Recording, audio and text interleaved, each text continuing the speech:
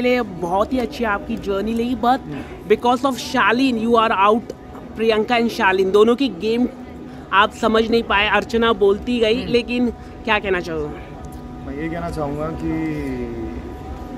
Maturity और बेवकूफ़ी में कुछ फ़र्क होता। है आई थिंक वही प्रियंका ने दिखाया लास्ट मिनट में uh, कि उन्होंने बेवकूफ़ी करी शालीन के साथ हाथ मिला के। और जाके उन्हीं को नॉमिनेट भी कर दिया उन्होंने। uh, तो इसको बेवकूफ़ी बोलेंगे। और आई थिंक शालीन बनौट के चेहरे पे डर था। जैसे ही उन्हें मौका मिला, उन्होंने सबसे पहले जाके मेरा नाम उठाया। तो अच्छी बात है, डर होना अच्छी बात है।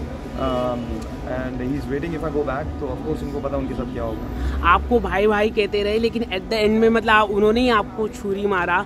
क्या कहना चाहोगे? मतलब वोट करके और कई मज़ाक भी उड़ाया है सौंदर्य के साथ भी अगर आपके मतलब आपके रिलेशनशिप को क्या कहना चाहोगे? ये कहना चाहूँगा कि इससे इंसान का दिमाग पता लगता है, उसकी मेच्योरिटी लेवल पता लगता है, जो शालीन बनौट में बिल्कुल नहीं है फ्रॉम डे वन वो एक फेकनेस की दुकान है, जो कि मैं पहले दिन से बोल रहा हूँ और मैं आज भी यही यही बोलता हूँ कि आप जिन्हें भाई या दोस्त बोलते हैं, आप उनकी पीठ के पीछे चाकू नहीं मारते। मैंने कभी नहीं मारा।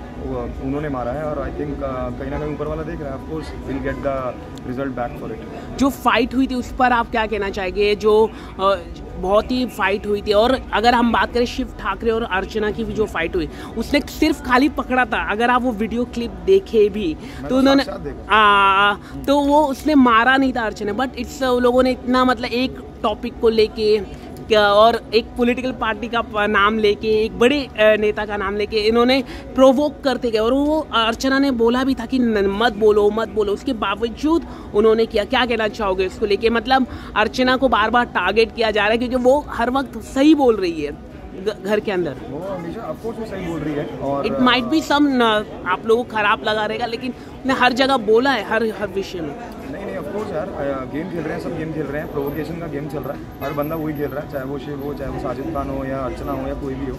अर्चना भी कम नहीं है बट ऑफकोर्स कई मुद्दों में वो सही रहती है।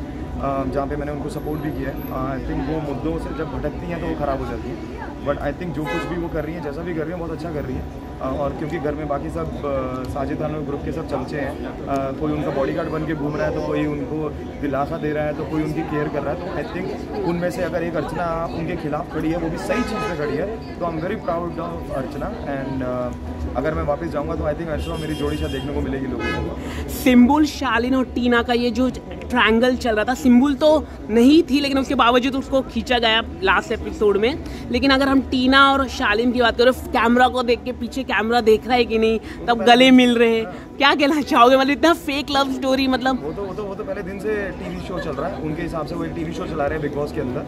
जहाँ पे शालीन और टीना अपने आप को लीड प्लेयर समझ रहे हैं उसका। और उनको ये नहीं पता ये बिग बॉस का घर है। रियलिटी शो में जब कब तक एक्टिंग करोगे? बहुत दिन हो गए, लोगों को दिख रहा है बाहर। वो क्या बोलते हैं, जब बिल्ली आँख बंद कर लेते हैं तो लगता है बाहर अंधेरा है। तो अभी वही चल रहा है अंदर उन्होंने आँखें बंद कर रखी उनको लगता है बाहर दुनिया को कुछ नहीं दिख रहा।